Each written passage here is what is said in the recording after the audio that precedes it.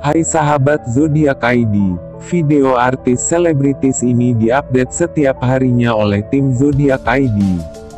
Pastikan kamu cek setiap hari, agar lebih gampang jadikan saluran ini saluran utama. Kamu, klik subscribe dan klik tombol loncengnya, untuk menjadikan Zodiak ID sebagai update di YouTube kamu difonis 1,5 tahun penjara, Rido Roma segera ajukan PK. Hukuman narkoba Rido Roma diperpanjang 1,5 tahun penjara oleh Mahkamah Agung. Ma, namun, pelantun, menunggu, itu hingga saat ini belum juga menerima salinan putusan tersebut.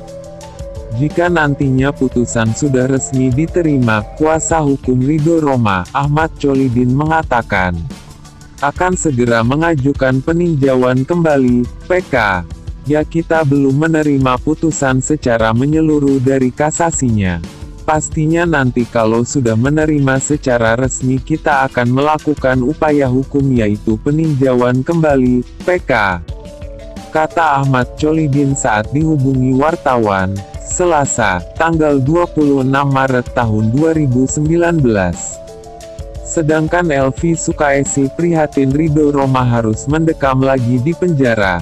Nah syarat PK itu harus ada putusan yang sudah diterima masing-masing, jadi diterima oleh Rido, oleh jaksa juga. Nanti baru kita akan ajukan PK, termasuk nanti apa saja pertimbangan yang akan kita bantahkan, yang akan kita jawab pertimbangan-pertimbangan tersebut. Jadi untuk sementara karena belum menerima putusan tersebut jadi kita belum bisa mengomentari, sambungnya. Ahmad Colidin mengatakan, awalnya ia hanya mengetahui kalau putusan tersebut masih belum pada tahap final. Terlebih ada banyak pertanyaan yang belum terjawab soal nasib hukum kliennya tersebut. Iya, kita kan hanya tahunya putusan itu masih dalam perbaikan.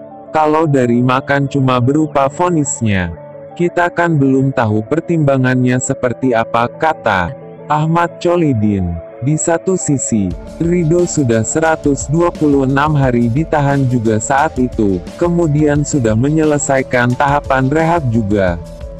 Kok bisa tahu-tahu ada putusan itu? Dasarnya apa? Nah itu yang kita belum tahu, ia menandaskan. Rido Roma sebenarnya sudah difonis 10 bulan oleh Pengadilan Negeri Jakarta Barat.